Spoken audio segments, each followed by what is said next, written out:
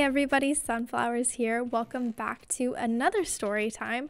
But before we get into it, I wanted to address the fact that I probably sound a bit different, and that's because I brought my microphone back from America. So, yeah, let's get into the story time.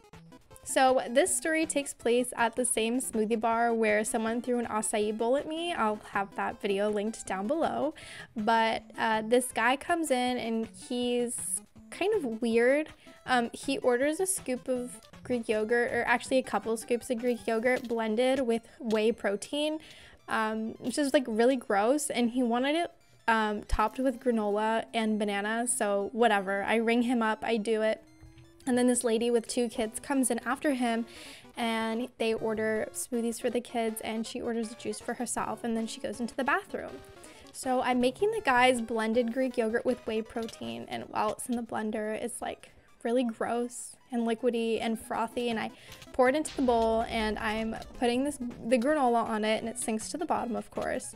And I'm cutting the banana and the kids are playing around in the lobby while the mom is in the bathroom you know just being kids doing kid things. They're probably aged between two and five. So they were really little kids. And, you know, they're kind of screaming a little bit, being kids. Nothing out of the blue, nothing crazy.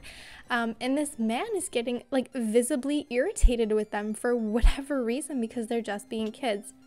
And he gets so fed up at a certain point that he goes over to the kids and starts yelling at them to be quiet and telling them that they're so misbehaved and they need to calm down and that they're ruining his experience.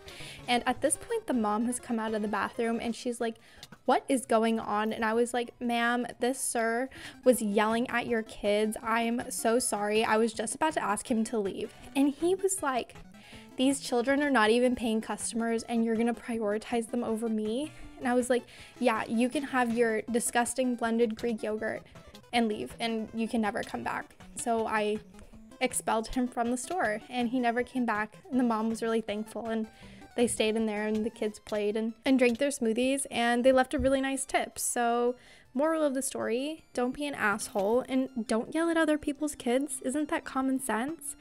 Anyway, I hope you guys enjoyed this smoothie bar story time. I have a ton more, so leave a comment below if you want me to tell another one. Uh, don't forget to like, comment, and subscribe on this video. It helps a lot, and I'll catch you in my next one. Bye, guys.